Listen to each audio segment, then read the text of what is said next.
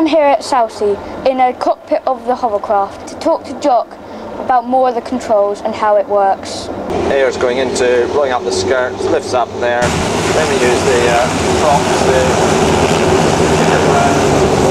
gets a bit noisy, try and keep speaking. Uh, steering with the mouth down knob there, which is moving those thrusters there. Because the tide's there, we have to come down on the power, we don't get out over. So it's saying steering, uh, the bow thruster, that little knob there, and then my feet are on rudder pedals. If you look behind the props, you can see them, see them turning as three behind each prop. There you go, going the other way, you can see the stern moving. Steering is done with a combination of the two. We use the rudders to control the rate of turn. Come up on power now. Props are now at 1900, which is our usual running speed. Speed is 27 knots. There's a heading 228, and we have a route put in. We don't worry too much about it unless it's foggy, in which case we're very interested in the last half mile run in to get the centre line to the pad.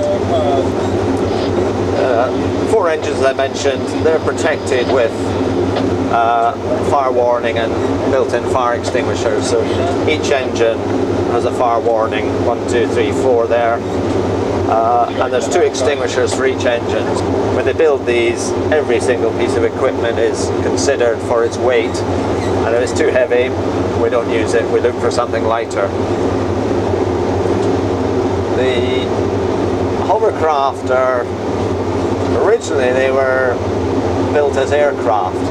The hull construction was aircraft construction, so it was lightweight alloys riveted and glued together when we moved over to the marine uh, construction, the the hull isn't an aircraft hull, it's a, a ship hull, very thin aluminium, but it's constructed marine grade aluminium, welded, and it's far, far cheaper to operate than a gas turbine one.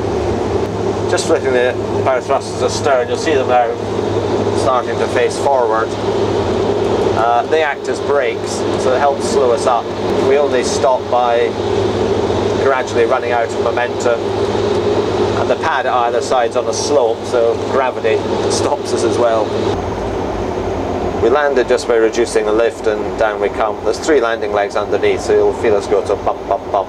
We've had one bump, there's another bump, uh, and there's a third bump. Back to the studio.